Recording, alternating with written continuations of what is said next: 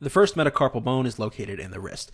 The scatter plot below shows the relationship between the length of the first metacarpal bone and height for nine people. The line of best fit is also shown. Which of the following is the best interpretation of the slope of the line of best fit in the context of this problem? So let's first figure out what the slope is it would be for this. So it's going to be the change in y over the change in x, the rise over the run. But what do those quantities represent? Well, the change in y is the change in the height and the change in x is the change in the length of the metacarpal bone.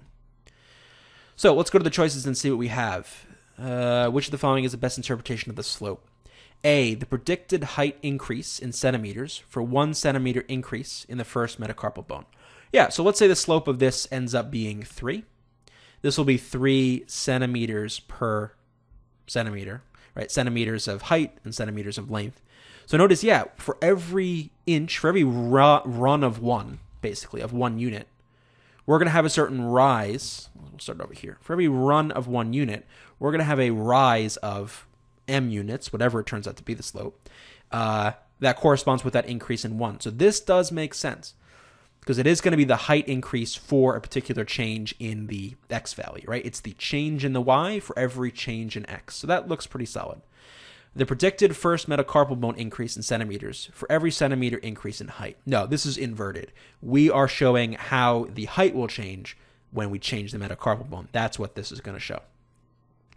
The predicted height in centimeters of a person with a first metacarpal bone length of zero centimeters. No, that is not the slope. That would be more, I suppose, the y-intercept, y-intercept, but that has nothing to do with the slope.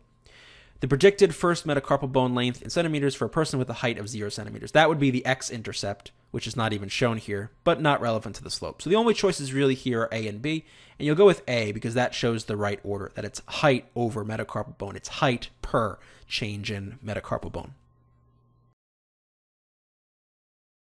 Continuing on with this set of questions based on this picture, the best fit line.